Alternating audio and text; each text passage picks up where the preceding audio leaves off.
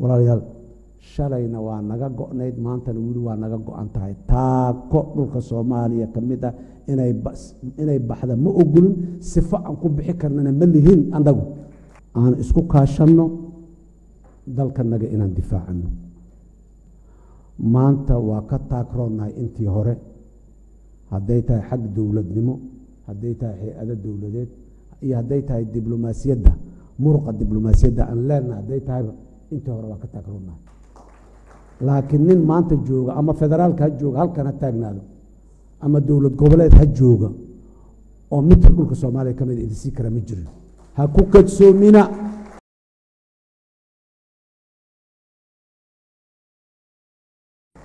dad jiro oo soomaaliyeed oo haddaba jira nabadaysan barwaaqaysanaad tihiin soomaali inteeda kalena colaad idinma qabto wax kasta oo na dhex maray oo hore oo dhacay xanuun kastaoo hore la dhaafay wax kastaoo tabasho ah oo jirtaay ma goyso dhulka qaar ka mid ah bixinayna in la yidhaah marna ee aqoonsigaan ka dalbanaynaa ma goyso. Waxaan rabaa dadka soomaaliyeed ee waqooyinka soomaaliya degan inaan xusuusiyo taariikhda etoobiya iyo eritrea ay ku midoobeen iyo markii dambe meesha ay tagtay. Inta dadka eritrea ay ku qaadatay midowgii etoobiya ay la midoobeen iyo ogolaanshihii etoobiya ay ogolaadeen meesha ay ku dhammaatay iyo intay ku qaadatay. Waddo la sahmiya meeshaas nagama jirto. Dowladda etoobiya waxaan leeyahay dadka reer etoobiya mar walba derisaan ahayn ismaanaan dooran ilaaha deris naga dhigay. Waanan ahaan doonnaa hal opshinaan qabnaa? Nabad inaan ku wada noolaanaan qabnaa? Opshin kaloo noo furan ma laha. Ayadoo duruufaha maanta geeska africa ka taagan ee cimilada isbedeshay climate changigu uu keenay dadkanagu ay la tacaalayaan. Ayada oo maanta la og yahay argagixisada geeska africa ka jirta dadkanagu inay la tacaalayaan. Ayadoo la og yahay badda cas ee hadda la hadalhayaa xaaladdeedu sida ay tahay oo cadowyada faraha badani maanta ay geyigaan geeska africa ay ka jiraan in in yaroo shidaala lagu sii shubaahay sax ma ah soomaaliya etoobiya macaamilkeedii sanadihii dambe prime minister abiye axmed waxaan leeyahay faragelintii malla zanaawi markuu etoobiya madaxda ka ah soomaaliya uu ku sameeyey al-shabaabaa ka dhashay shabaab ka hor ma joogin dalkan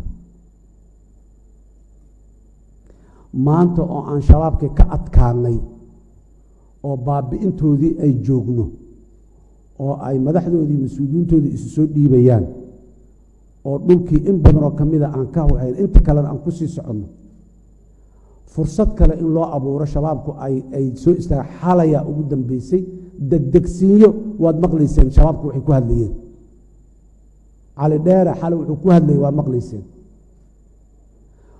fursad kale iyo slogan kale oo dhallinyaradeenna ama nationalistis ha ahaadaano ama wadaadda ha ahaadaano ee si uun u fogaaday lagu soo rikruud gareeye shabaabku ay ku helaan dhallinyaro badan oo ay soo xeraystaan oo ciidan u noqoto ayadoo maanta dhallinyaradii ay ka soo wada tegayso.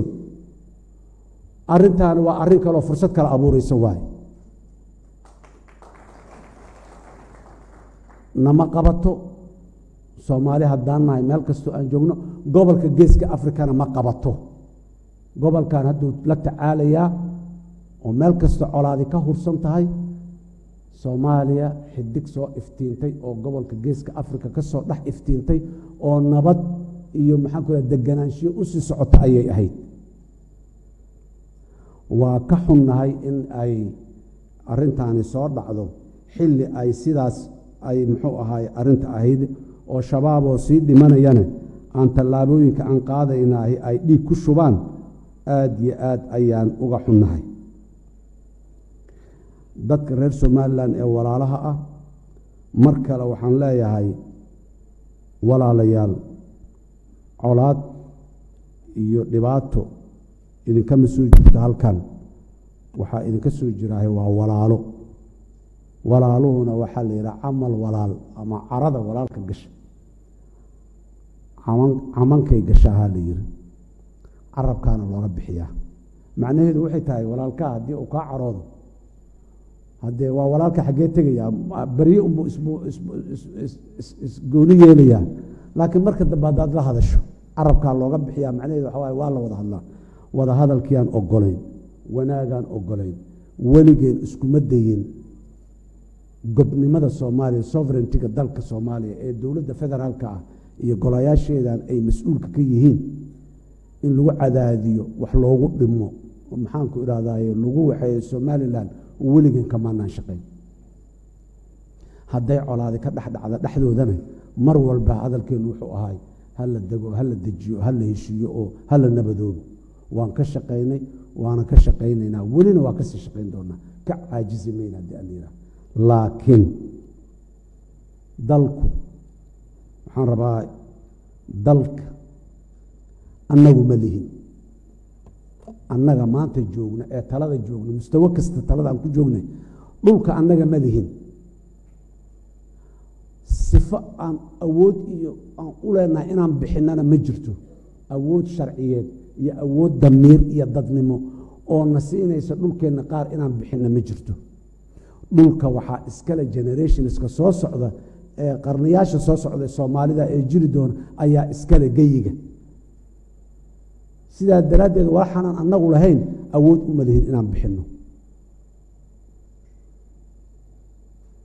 Wada noolaansho iskaashi dhaqaale waa waxa aan raadinayno oon suuqa bariga africa aan uga mid noqonnay oon muxuu ahaaye home economic integration initiative-ka la yihahdo aan u wadno on wax uga shaqaynaynay gobolkaana idoo wada barwaaqoobo oo maxaanku idhahdaye wada nabadoobaan ka raadinayna aan ka shaqaynayn.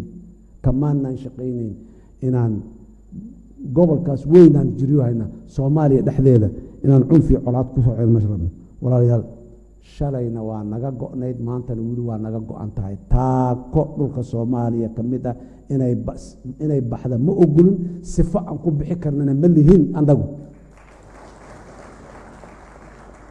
sidaan horeyba ummadda soomaaliyeed uga ballan qaaday haddaan madaxweyne ahay iyo haddaanan ahaynba taaka dhulka soomaaliya ka mida inay baxda waa ku celinayaa taaka dhulka soomaaliya inay baxda ma ogolin aan isku kaashanno dalkanaga inaan difaacano aan isku kaashanno inaan ilaalinno geyigeenna wada jirkiisa soomaaliya iyadoo intaan ka taag daran ayaan ay soo ilaashatay dhulkeeda. Caalamkana waa uga mahad celinaynaa nagu kaalmeeyey inaan dhulka ilaashanno. Maanta waa ka taagroonnahay intii hore.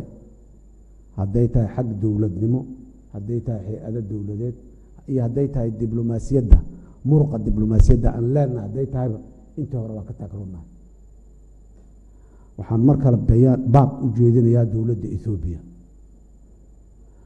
wax badanoo wanaagana way naga soo dhexeeyeen wax badanoo wanaagana way noo madlanaayeen. Jihadaas aada bisha kowdeedii janawari u jeesateen ka soo jeestaan lena waddo idinkama jirta meeshaas. Bad haddaad rabtaan dekada haddaad rabtaan macaamil adduunya haddaad rabtaan si loo raadsado adduunyada dhan ay ogoshahay oo aan laysku khilaafsananaa jirto waddadu meeshaas idinka jirtaa soo mara. Laakiin nin maanta jooga ama federaalka ha jooga halkan ha taagnaado ama dowlad goboleed ha jooga oo midka dhulka soomaaliya ka mida idinsii kara ma jirin. Ha ku kadsoomina ha ku kadsoominaan leenahay haddii alla yihahdo walaalayaal aad iyo aadaad u mahadsan tihiin ballanteennu waa maxay? Dalka so soomaaliya soomaali baa leh. Soomaaliya soomaali baa leh. Meeshaasaan joognaa waana u dhimanaynaa waana difaacaynaa waana waxaynaynaa. Meel kastoo ay soomaaliya ay dhulkeeda ku aad iyo aadaa u mahadsan tihiin wasalaamu calaykum waraxmat ullaahi wabarakatu